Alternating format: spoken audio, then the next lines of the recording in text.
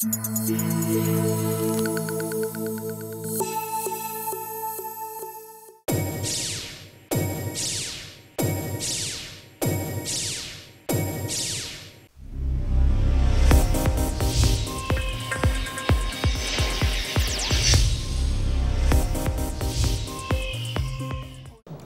Muito boa noite. 21 horas e 6 minutos desta quinta-feira, hoje 18 de maio de 2017. Está no ar o nosso Estação Hamburgo, ao vivo, direto para Novo Hamburgo, Campo Bom, Estância Velha e para o mundo inteiro através da internet, site valetvplay.com, nosso aplicativo para Android e através do Facebook da Vale TV. Ontem foi um dia bastante difícil. A gente chegou nesse espaço aqui cansado, exaurido de tantas notícias ruins que vieram todas de uma vez e que deixaram profundamente abalado toda a nossa nação, mais uma vez. Hoje, o dia não foi mais tranquilo do que isto. A novidade era as repercussões em torno de tudo que aconteceu na tarde e noite do dia de ontem.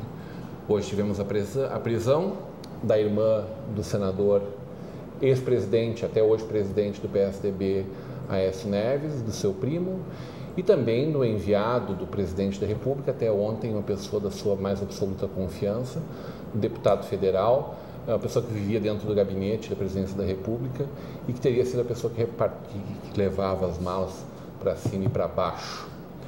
A gente assiste estarrecido, não exatamente porque seja qualquer surpresa, mas porque a gente não tem como não se chocar, não só com a corrupção, mas com o tamanho de disfarçatez dos nossos políticos, de pelo menos os políticos que estão lá orbitando em torno do poder máximo da nossa república, a cidade de Brasília. Com certeza não foi pensada por Getúlio, por, por, é, presidente Juscelino Kubitschek, tampouco pelos seus é, pelos seus arquitetos, engenheiros, né, Russo Costa e o Niemeyer, para que acabasse da forma que está se desenhando. O desenho ele era bem mais bonito antes disso. Não tem como a gente não conversar muito sobre esses assuntos, afinal de contas, todos nós somos impactados, desde o preço do leite, do pãozinho, até a alta do dólar, que impacta diretamente na nossa economia regional. Tem como a gente refletir isso e, sobretudo, tentar esmiuçar um pouco mais tudo o que está acontecendo e pensar como juntos nós aqui podemos fazer a nossa parte para que o Brasil continue caminhando para frente. A gente vinha experimentando momentos de uma retomada da economia muito importante e a grande dúvida é de que forma as coisas continuarão caminhando. O cenário da economia de hoje foi desastroso, com fechamento de bolsa, com a altíssima do dólar. Tudo isso, Karina Moraes, tudo isso nos deixa no mínimo apreensivos, né? É coisa para hipertenso não gostar nem um pouco. Muito boa noite, seja muito bem-vindo. Saudades de ti. Fazia ah, é, tempo que tu não vinha aqui na, na quinta-feira, né? É verdade. E agora em novo horário também. Mas eu gostei do horário. O horário eu acho bem. A audiência está adorando e a gente está muito feliz também. Eu acho também. Bom, eu acho que é mais uma vez uma prova de que muitas vezes é uma questão de oportunidade. A gente vê tantas pessoas né, de caráter, de índole nesse país. E eu acho que a grande teste é quando essa pessoa adquire um certo poder. Imagina então o poder no ponto máximo da República, né? Então é, é, é, lamentável realmente, a gente fica muito estarrecido, mas a gente sabe que enquanto não mexerem realmente numa reforma política, esse país, nesse aspecto, vai continuar passando por momentos assim.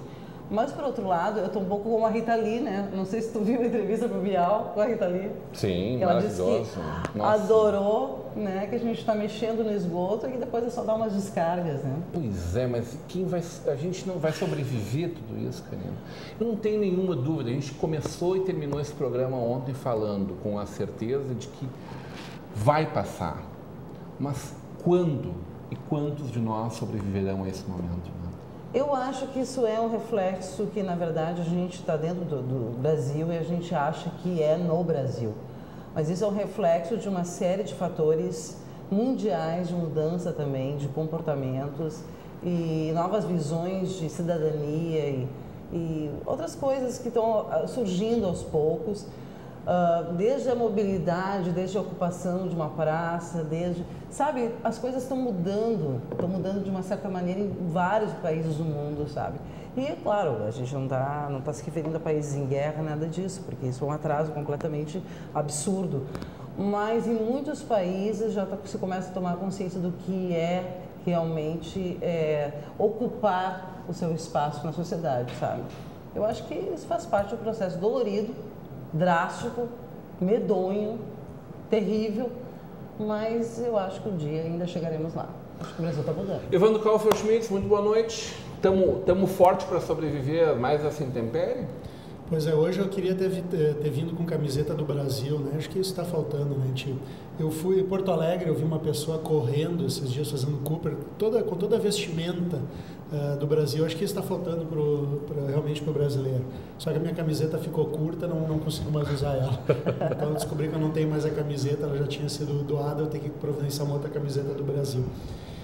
Falando um pouquinho, tem que, de vez em quando tem que brincar um pouquinho para ficar um pouco mais leve, né? Estão dizendo aí que a pessoa mais capacitada para assumir o governo é, é Beth Cuscuz, Beth Cuscuz. Ela é dona do maior cabaré do Piauí, com filial em Fortaleza. Porque ela disse, né, que vou assumir o Brasil, porque de prostituição eu entendo. Ah, não, tá, tá aí uma bela oportunidade. Eu, eu, da brincadeira, eu gostei muito do Celso Rotti. O gaúcho ah, talvez sim. resolvesse isso, né? Sim. Desta forma, né?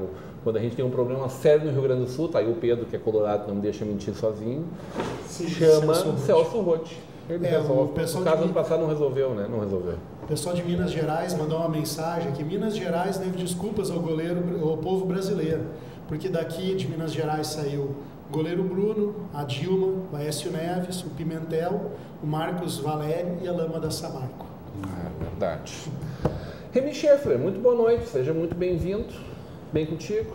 Tudo bem, boa noite. Uh, realmente repercutindo, estamos ainda uh, tentando entender exatamente que, o que está acontecendo com o nosso querido Brasil. Uh, o tá Brasil difícil é, de engolir, tá, tá, difícil, porque na verdade nós estávamos no momento. Eu falo como uh, representante do comércio varejista e uh, nós estávamos comemorando Uh, um, um, uma época agora de uma ascensão da economia brasileira, o comércio, a indústria e os serviços estavam apresentando uh, crescimentos, estávamos comemorando e hoje recebemos um balde d'água fria, de tal monta que a, a, o Brasil parou, o noticiário foi mundial e nós estamos assim uh, com aquela certeza de que tem que ser feito algo profundo, que, como diz a Karina, é uh, o remédio é amargo, mas tem que ser tomado, porque senão não vai ter jeito. Nós temos que experimentar esse remédio amargo e cada um de nós vai ter que pagar um pouco desse preço, infelizmente. Aqui, ó. Nosso WhatsApp está no ponto? Vamos chamar aqui. 99750 1414. Participe da nossa programação, basta você enviar um recado e a gente vai estar, na medida possível, aqui interagindo com vocês. Mensagem do Marcos Fábio Copete, mandou um abraço aqui pro Remi e disse, ó, pega Intramandaí. Copete que já está lá no litoral norte, usufruindo daquele ventinho, Aí, Copete. Daquele, daquele ar marítimo, tudo, tudo certo. abraço, Copete. O Jorge Martins, já estou em Porto Alegre acompanhando o programa. O Jorge, que estava com a gente gravando hoje à tarde aqui, né, nosso querido o menino da caixa de sapato. Muito boa noite, doutor Vinícius Bondan, nosso especialista em direito administrativo, direito público, direito eleitoral, sobretudo, né? Como é que está o dia de hoje para ti, doutor? Boa noite, Rodrigo, colegas de bancada e telespectadores. É, acho que está difícil para todos, né? Os que trabalham mais diretamente com a área pública do direito público, eleitoral, enfim, trabalham mais diretamente com as questões políticas do país e também para as pessoas que são menos habituadas. Eu acho que para todos é, tem sido de muita dificuldade esses últimos períodos pelos quais a gente tem passado. Né? E, no entanto, nós estamos é, enfrentando mazelas que são históricas do nosso país e a boa notícia é que elas não ficam mais, mais ocultas, né? Nós é, hoje temos a possibilidade de ter uma dimensão né, de como são, como é o funcionamento das instituições do país, né, e a partir de agora temos a possibilidade de começar a reconstruir, porque eu acho que é disso que se trata, né? Nós temos que começar a reconstruir os fundamentos da nossa república. Mas não chegamos ainda no fundo do poço.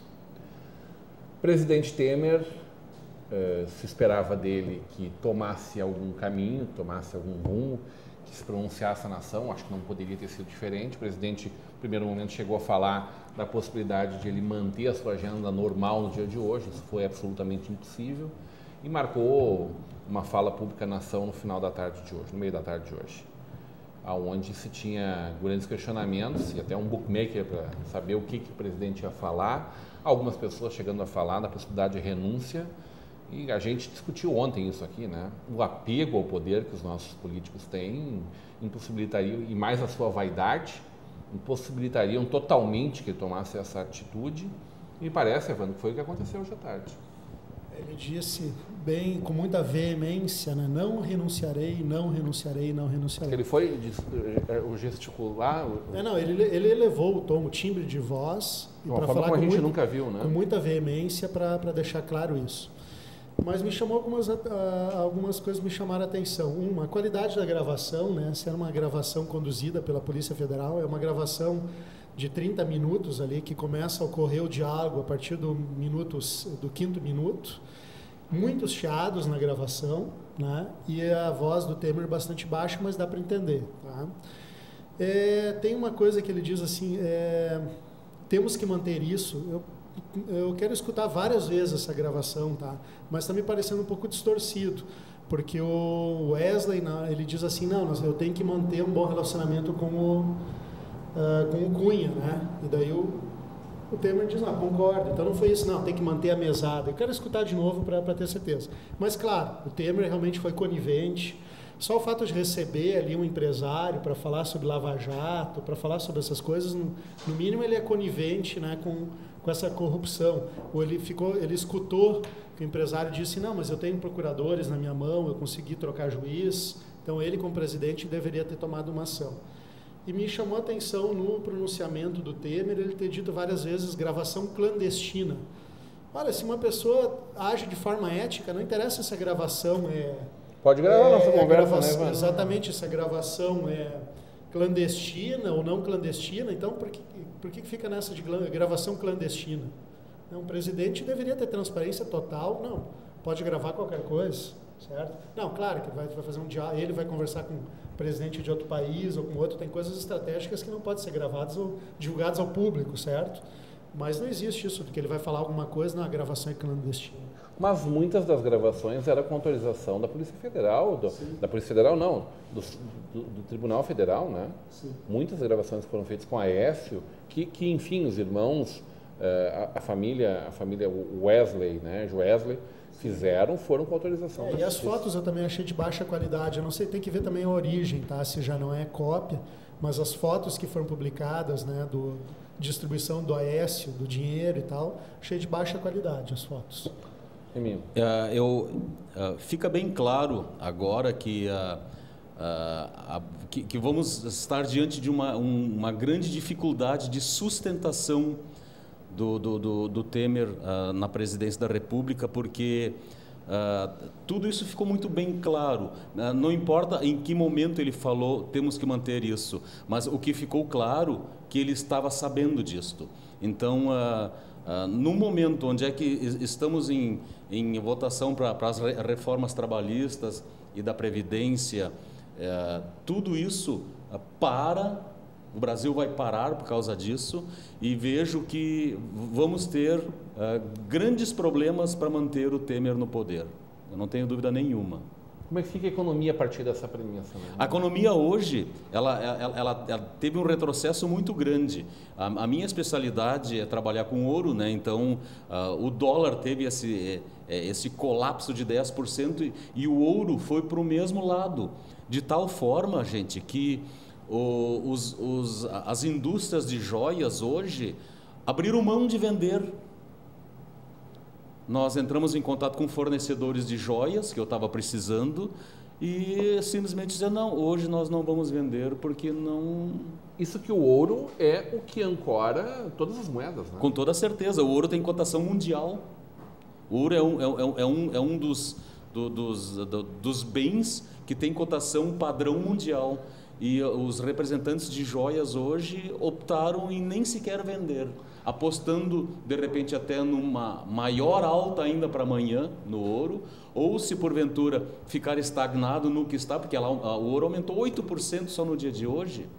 Se, se, se mantiver estagnado, amanhã eles vão entrar em contato, ó, agora vou poder vender. Tem uma consulta muito interessante que se faz no Google Trade, apenas a nível de curiosidade, como ele ancora de tal forma a economia mundial. Eu não sei se já fez essa experiência, Evandro. Quando, no auge da crise americana, quando o dólar chegou em seu ponto mais baixo, acho que foi metade do ano de 2008, mais ou menos, a palavra, uh, você perguntava dólar, ele era das, das palavras mais baixas no, de, procura, de, procura, no Google, e ao mesmo tempo você procurava a palavra ouro, né? ele era a mais alta. Google Trends, né? Trends, que mostra a trends. tendência das palavras, né? Trends. Resultado, daí tu ia olhar quanto, qual era o valor na economia mundial, Sim. era exatamente o momento em que o, o, o, dólar chegou na sua menor cotação e o euro na sua o ouro na sua maior. É, o, é, hoje foi um cotação. dia significativo e atípico. E a bagunça, os dois, os dois crescerem juntos é uma bagunça do mercado. Hoje, hoje foi um dia significativo, comparava ao 2008, tá? Uh, a bolsa caiu 8,8%.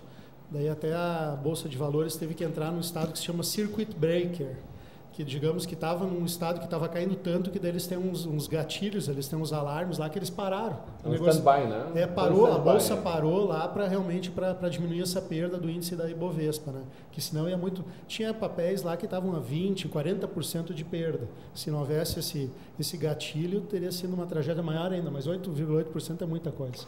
Doutor Vinícius, como é que fica, do seu ponto de vista jurídico, essa decisão do, do ministro Fachin no dia de hoje de afastar do Senado o senador Aécio Neves? Não existe na Constituição brasileira a previsão legal de que o Senado tenha a autonomia de fazer, tomar uma atitude dessa, me parece. É, em que sentido, Rodrigo? É possível que, um, que, o, que o STF por uma decisão monocrática, afaste um senador da República? É princípio, é, é possível e, e, não seria a primeira vez. Mas né? a primeira teria sido há pouco tempo atrás. Há pouco tempo atrás. Com o senador do PT, Delcídio do Amaral. Delcídio do Amaral, numa decisão histórica, né? É. Outra vez só em estado de exceção, né? Uma suspensão cautelar, né, do mandato eletivo, ela tem que ser baseada em indícios muito consistentes do uso do mandato para a prática de atos ilícitos, né? Porque isso, por outro lado, é, digamos assim, é, sobressai em relação ao mandato eletivo que é conferido democraticamente por meio do voto popular.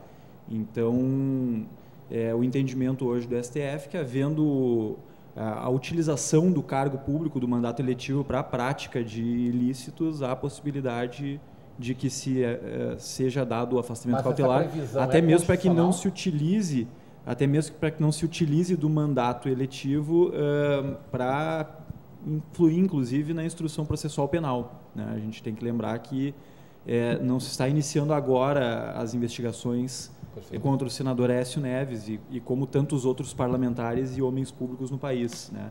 É, há uma grande investigação, incluindo diversas autoridades né, da República, dos mais diversos partidos políticos, né, e havendo essa possibilidade de que se estejam utilizando da posição pública, né, da, do cargo público para influir na instrução processual penal, uh, há a possibilidade de que cautelarmente haja esse afastamento, como outras medidas de natureza cautelar. Né. Tivemos um procurador da República hoje afastado também. Né? É, uh, atuando no Tribunal Superior Eleitoral, mas me parece que não era lotado lá especificamente, era um procurador é, auxiliar da Procuradoria Geral da República e que gozava da confiança do Janot, por exemplo, Rodrigo Janot. É uma, uma, digamos assim, dentro do Ministério Público Federal, uma alta, uma alta gradação, né, digamos assim, na hierarquia. Né? e a acusação de que estaria vazando uh, depoimentos em, em, caráter sigiloso. Né? Isso né? mesmo. Isso é um dos grandes problemas que nós vemos hoje nessa situação delicada que a gente vivencia, é a utilização né, é, de forma muito midiática disso tudo que está sendo apurado. É claro que é, é claro que a população, a sociedade tem o direito de saber o que está sendo apurado, né? mas a gente tem que levar em consideração também, a gente não pode é, expor é, a um julgamento antecipado, midiático, antes da devida instrução processual penal. E isso aqui se confunde muito, Rodrigo, com é, se proteger criminosos, mas na verdade é uma proteção do cidadão, porque qualquer um de nós está sujeito em algum momento da vida a ser investigado do ponto de vista criminal, enfim. Né?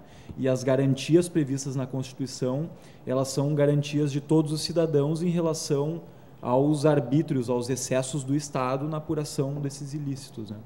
Então é um conflito interessante, digamos assim, de interesse. De um lado, o interesse é, da sociedade em ter a mais absoluta publicidade em relação a todas as investigações e tudo que se apura, e para o outro, a, por outro lado, a, a preservação é, da imagem das pessoas né, e as garantias individuais de que elas estarão preservadas, digamos assim, de uma atuação arbitrária do Estado né, na, na persecução. Da, realmente, antes da Lava Jato, a gente tá não falando, tinha né? isso, né? É, realmente era só quando alguém era condenado que ia para a mídia, né? Hoje a investigação já vai para a mídia, né? E... É, é o que eu estava falando, a gente está aí condenando o presidente Temer e, Sim. na verdade, é tudo muito incipiente. É preciso Sim. que essas coisas venham à tona e sejam efetivas. Né? Querias complementar, então? É só complementar, sim. A gente, na história, é, a gente tem exemplos disso. Por exemplo, um dos principais exemplos de um processo muito semelhante ao que a gente vive hoje no Brasil é a Operação Manos Limpas na Itália, né?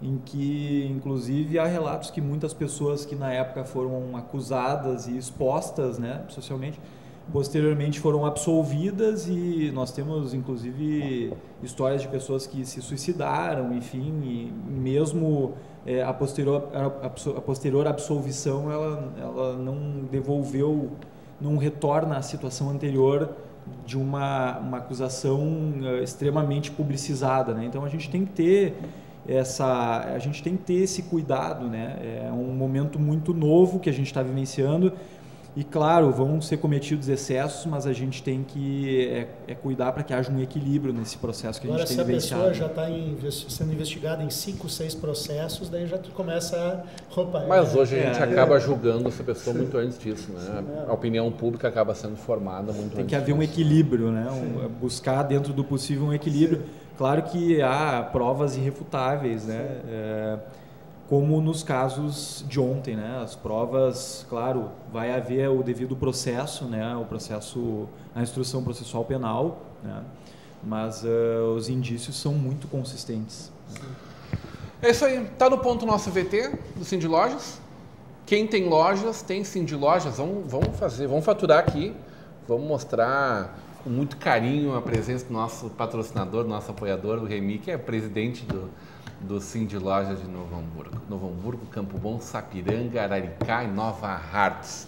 Pode rodar.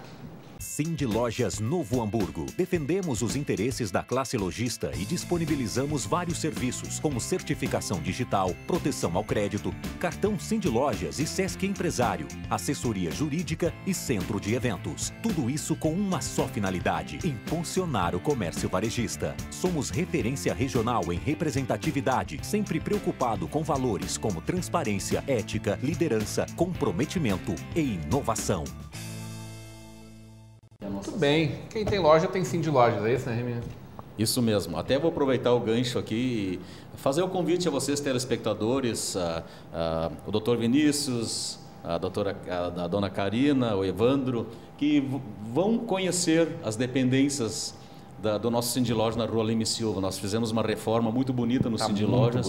Remy, eu ah, estive lá na semana passada, inclusive, ia comentar como tá bonito o Cindy Loja. Tá? Uma é, estrutura, olha, parabéns. Doutor Vinícius, veja só, é, quando eu ah, ah, fui empossado presidente do Cindy Lojas, havia um projeto de uma nova sede administrativa, porque nós temos também na Rua Canela a nossa sede social. A sede administrativa na, rua Lime Silva 123 havia um projeto de um, de um prédio de quatro pavimentos, uh, todo espelhado, bonito, uma coisa assim bem ultramoderna. Mas uh, isso três anos atrás. Aí começou a aparecer as dificuldades econômicas em todo o Brasil. E não podia ser diferente com o Cindy Lojas também.